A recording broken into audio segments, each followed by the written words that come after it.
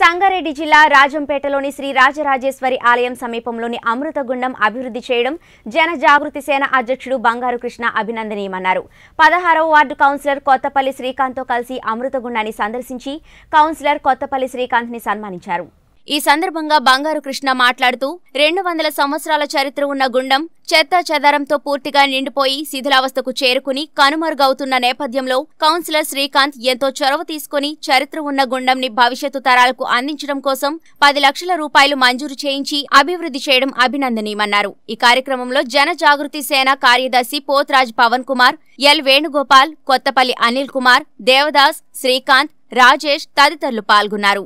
గుండం అమృత గుండం రెండు రెండు వందల సంవత్సరాల క్రితం ఈ గుండాన్ని ఇక్కడ నిర్మించడం జరిగింది. అప్పుడున్న రాజుల కాలంలో.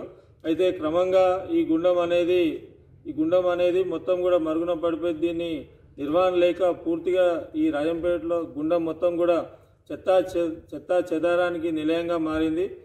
అయితే మొన్న ఇటీవల కౌన్సిలర్గా ఎన్నికైనటువంటి కొత్తపల్లి నాని శ్రీకాంత్ గారు ఈ గుండం సంబంధించి ప్రత్యేకమైన దృష్టి పెట్టి ఈ గుండం ఈ ఎంతో చరి చరిత్ర ఉన్నటువంటి గుండం ఈ ఇక్కడ ఈ గుండం మొత్తం చెత్తాచారతో నిండిపోవడం వల్ల ఇక్కడ స్థానికులకు కూడా ఇబ్బంది అవుతుంది.